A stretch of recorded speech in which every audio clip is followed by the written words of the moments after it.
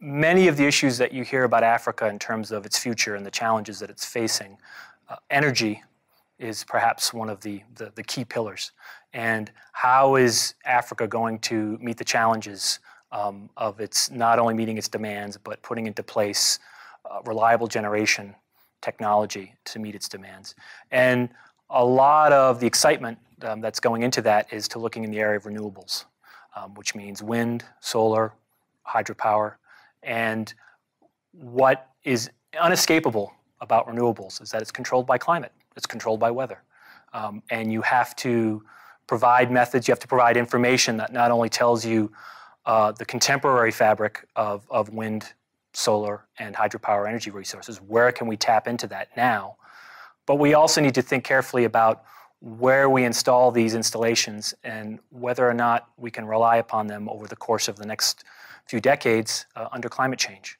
Would one particular scenario present a sizable risk in terms of shifting uh, key resources? One of the technical challenges is uh, going back to the issue of models and uh, the, the struggle that we, the challenge that we always face with climate modeling and impact modeling is what is the appropriate granularity of our models. How detailed do we have to really get before we can provide useful information? And so one of the critical areas that we're going to look into is the appropriateness or the appropriate resolutions that we need to, to, to run these models and also provide analyses of, again, current renewable energy resources, their intermittency, um, how this intermittent behavior um, can be predicted or not predicted, and how this may change in the future. Perhaps the most original and important piece of this work is to try to bridge a gap between highly detailed, um, very detailed process-oriented models and more efficient methods so that we can get, we can obtain and synthesize and, and provide a probabilistic or risk-based projection of, of, of, all of these resources and how they may change in the future. That's probably one of the key uh, novel aspects of this research. We refer to uncertainty in the what you might call the dependent variables of, of an impact model. So say you're concerned about agriculture. Well, agriculture relies on many different variables. Most of them have to do with weather and climate, temperature, precipitation. Um, and typically, in the context of uncertainty, we refer to the uncertain inputs of that system as uncertainty. The risk is the result. You put all these uncertain variables together and you end up with a distribution of an agricultural stress or an agricultural need for irrigation. And it's that distribution of that outcome which we refer to or we think of as this is the risk that climate change imposes on a particular system.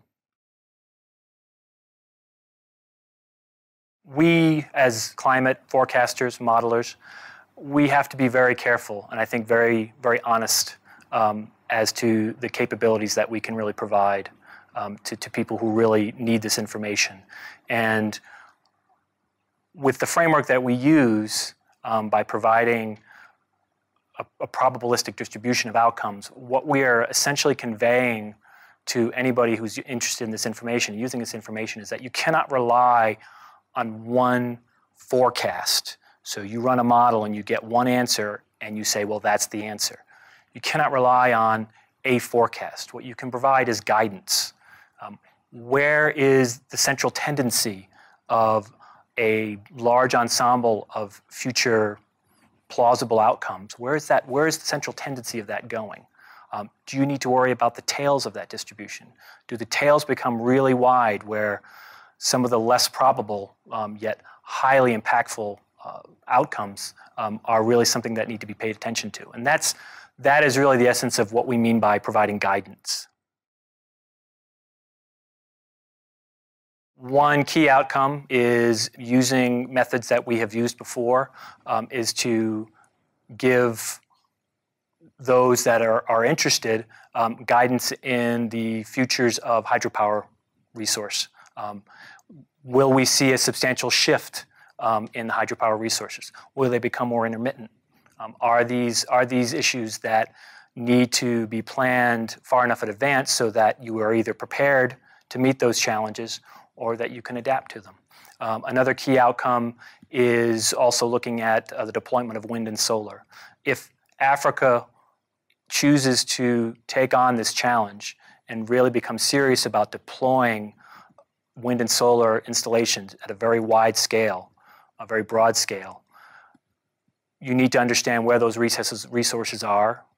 Um, how do they intersect with um, lands that we wouldn't be able to use, endowed lands, or lands that are unwilling to be given up um, um for, for these types of installations? How does that all intersect now? How, that, how may that intersect in the future?